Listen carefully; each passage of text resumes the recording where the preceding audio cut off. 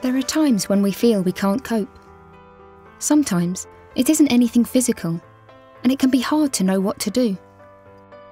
Whether it's stress at work, or we don't feel like getting out of bed in the morning, or maybe we're anxious about leaving the house or harming ourselves. When we're struggling and need help, when we feel we're in a mental health crisis, there's new help on hand.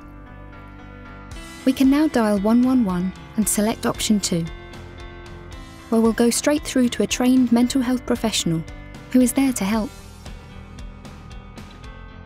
We all struggle at times, and what makes a difference is getting the right support quickly. So we can just pick up the phone and call ourselves, or our GP can refer us too. The service is available 24/7, so there's no need to go to A&E anymore. There's specialist advice available for just these kinds of situations. The mental health professionals will consider the best help and support on offer.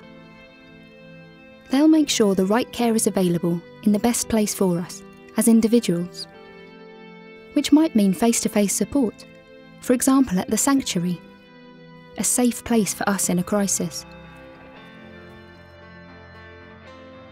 Sometimes, just being able to talk to someone is a big relief. There's no need to worry and feel there's nowhere to turn. There is now. We can call the first response service on 111 by selecting option 2. And remember, we can call anytime, day or night.